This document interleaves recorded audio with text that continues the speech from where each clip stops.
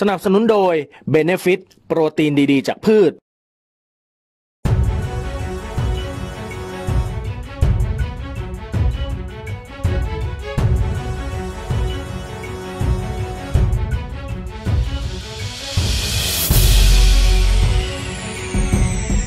ู้ใช้ TikTok บัญชีวงวัน 99 ได้ออกมาเปิดเผยเรื่องราวการไปสัมภาษณ์งาน กลับโดนผู้บริหารทักว่าไม่ตรงปก เธอเปิดเผยว่าได้ไปสัมภาษณ์งานที่บริษัทแห่งหนึ่ง เริ่มแรกทำการถามคำถามตามปกติทั่วไป ที่มักจะเจอเวลาไปสัมภาษณ์งาน ตอนสัมภาษณ์เธอสวมหน้ากากอนามัยป้องกันโรคเอาไว้ กระทั่งผู้สัมภาษณ์บอกให้เธอถอดหน้ากากออกบอกว่าถอดหน้ากากออกหน่อย เขาเลิกกลัวกันแล้ว เธอจึงถอดหน้ากากอนามัยออกแล้วโดนทักว่าไม่ตรงปก เธอยอมรับว่าไม่พอใจมาก เพราะคนเราควรมีมารยาทกับคนอื่น โดยเฉพาะคนที่เพิ่งเจอกันครั้งแรก เธอยังเล่าต่อว่าเธอไม่ได้กลัวโควิด แต่เธอแพ้ฝุ่น PM 2.5ผื่นขึ้นเต็มตัว ใช้เวลารักษานานกว่าจะหาย แถมเธอไม่เคยเป็นโควิดเลยสักครั้ง เพราะดูแลตัวเองดีมาก เธอคิดว่าการใส่หน้ากากอนามัยไปสัมภาษณ์งานเป็นเรื่องปกติไหม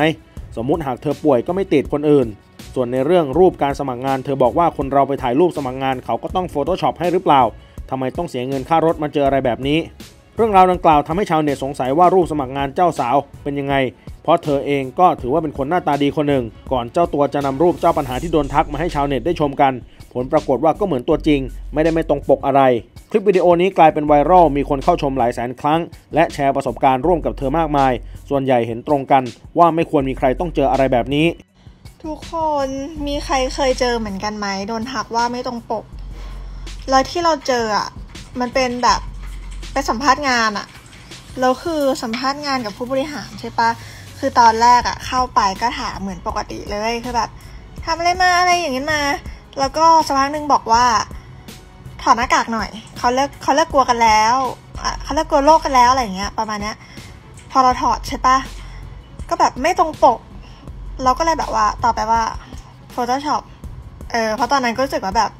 ที่อะไรอะคิดในใจอะคือแบบ คือมารยาทของคนเราอยู่ไหนวะ ในการเจอกันครั้งแรกอะเออแล้วอีกอย่างเรามีสิทธิ์คิดด้วยว่า คนนี้เป็นยังไงคนนี้เป็นยังไงแต่แบบว่า มันควรพูดไหมอะไรแบบนี้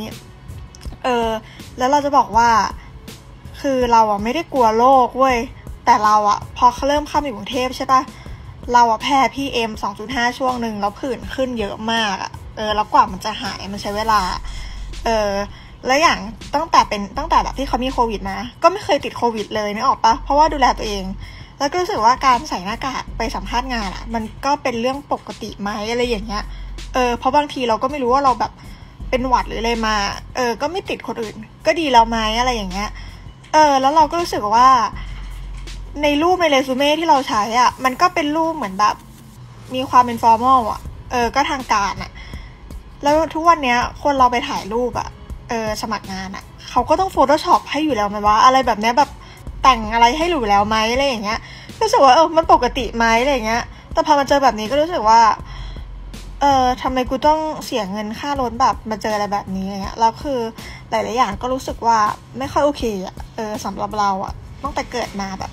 สมัครงานสัมภาษณ์งานมา อันนี้เป็นครั้งแรกที่รู้สึกว่าแบบอะไรวะเนี่ย เออเราเชื่อไหมคือก่อนหน้านั้นเราอะเพิ่งเป็นแพนิคเออแล้วก็เหมือนเพิ่งเพิ่งหาหมอทานยาอะไรเงี้ย แล้วเพิ่งดีขึ้น แล้วพอเพิ่งดีขึ้นพอไปเจอที่นี่คือแบบว่า เป็นอะไรที่แบบเป็นเรื่องที่แบบแย่มากอะที่แบบเจออะไรแบบเนี้ยแล้วรู้สึกว่าคนเราอะไม่ควรไปทักใครเว้ยเพราะว่า คือเราไม่ควรแบบพูดเราเสียงสั่น คือไม่ได้เสียใจนะแต่คือมันเป็นอารมณ์แบบทำไมกูต้องแบบมาเจอแบบเจอที่อะไรแบบนี้ด้วยอะไรเงี้ย เออ กูไม่เคยไปทักอะไรงั้นใครอะนึกออกปะเออ ก็รู้สึกว่า ก็เหมือนสะท้อนกับพี่เจงว่า เออ อย่าไปพูดอะไรแบบกับใครอะ คือมันเป็นอะไรที่แบบว่า มันแย่อะเออเออนั่นแหละ ก็เลยแบบจะมาแชร์ให้ฟังว่าแบบเออ มีใครเคยเจอไหมอะไรอย่างเงี้ย